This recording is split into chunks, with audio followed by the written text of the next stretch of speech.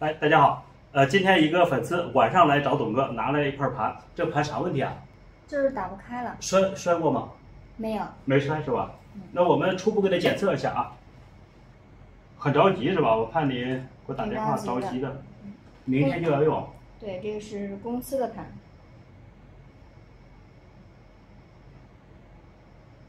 好的，目前没有异响，没有异响，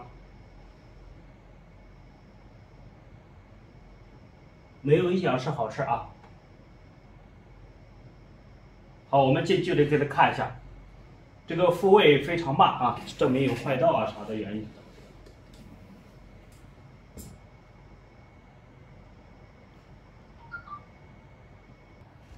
好的，我们看，呃，能复位，但是复位后长盲这些都报报错，我们看看进能不能进那个啥，进不去也不认盘，进去也不认盘，那这种问题怎么解决呢？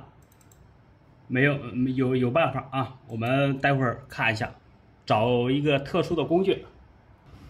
嗯，可能大家说了，哎，这是什么原因呢？我们是把电路板跟它磁头给它隔开，它目前来说能能复位能就绪，那就是可能说是磁头有问题。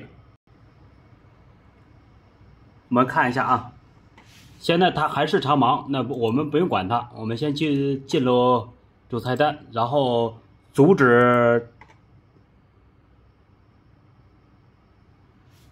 我们阻止人家的服务区，不让他工作。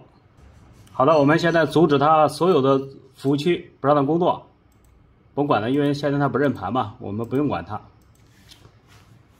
阻止完了以后，我们会把磁头，这有个磁头位图，哇，这个是八个头的啊，我们呢先给它都给它关掉，就是我们不让磁头给它工作。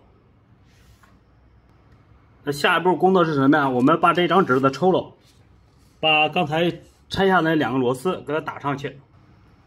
好了，我们刚才把这个螺丝给它装上了，然后把那张纸给它去掉，我们再看屏幕。好的，我们不认盘不要紧，因为我们没有加载固件区啊，只是把 LDR 加载上去了。我们现在返回，把主菜单，重新进入一下，识别一下。好了，这个没关系，我们把这个版本号记一下，然后备份固件，因为这呃固件对我们来说非常重要啊。如果固固呃固件没有备份出来，我们什么都不敢做。一旦一做了的话，都损坏，损坏以后我都没救了。好嘞，我们证明零号面和一号面是没问题的，那这个问题就好办了。我们慢慢等待呃备份固件。像这种，我们就是抓紧把零号面和一号面的固件备份完，然后其他的磁头损坏，我们现在不管它，先把零号面、一号面做完了之后，换个新的磁头。好的，现在备份过程完毕，那我们就要。呃，修这个盘怎么让它认盘？那我们在这里模块区选择零二模块。那现在零二模块肯定是坏的啊，我们不用管它，我们要找到一个找到一个参数，把它改了。从这儿零四四往后边。这一堆我们全给它删删掉，因为它有个反应慢，我们必须解决反应慢啊。我们看一下，看到哪个地方？好的，通过通过董哥的计算是这一串数字，把这一段数字怎么着啊？填充，我们全填零，全填零，然后校验，两次校验啊，校验完了。我们写回，写回 copy 零，然后我们这个盘就不会再慢了。好了，到这儿我们就可以启动，通过允许服务区启动。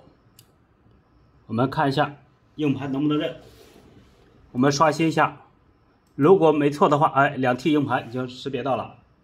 我们看一下呃服务区能不能访问这个扇区。如果闪区能看到 OVA，OK，这个就我们完全可以做数据了。我们扫描一下，应该也没问题。我们扫描一下，看这个盘有没有问题。但扫描它也可只能扫描到零零号头和一号头啊，因为啥？我们前面给它屏蔽了，所以好的，很很好。那我们赶赶紧的先把前面有好的是这个磁头，把数据做出来，待会儿再给它换个磁头，把数据给它提出来。美女，这个盘呢，因为磁头损坏，估计得一千米，能便宜点吗？这少不了了，这是最低的成本了，因为我们成本都四百米。可以吧。好了，董哥都抓紧把这数据给做出来，然后现在开始做镜像。好嘞，本视频到这儿，感谢大家观看，再见，拜拜。